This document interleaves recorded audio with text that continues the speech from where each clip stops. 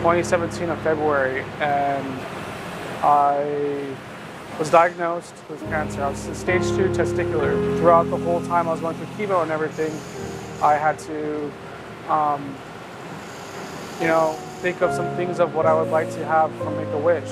If it was if it was to get granted, so I asked for college tuition to get paid for. Just about two weeks ago, I got that granted. My mother passed away in 2008, so didn't know, you know, didn't get time with her much.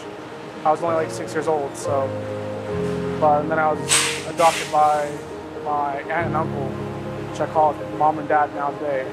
Junior year, no, junior high school is when I started getting more into cars and being, you know, the mechanics side of everything. I did four years of high school auto mechanics. I fell in love with it. It was awesome.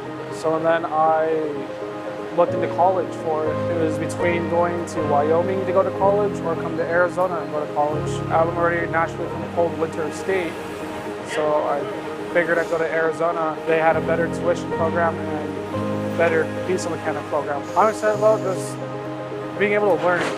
Every day you're going to learn something different, and even when you are on the job, there's newer things that come out that you won't know. And I'm a very hands-on learning person, so that's what I just look forward to. Start school in two weeks, but with um, the Knight, they invited me to come over and do um, a full facility tour, and that's besides from Make-A-Wish. They told my Make-A-Wish people that I could come in and ex uh, explore, basically.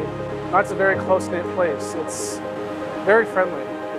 You, you walk into some shops and it's a lot different than Knight. My name is Jaime again. I got put into the Make-A-Wish Foundation and I wished for college tuition. Something cool to get a grant.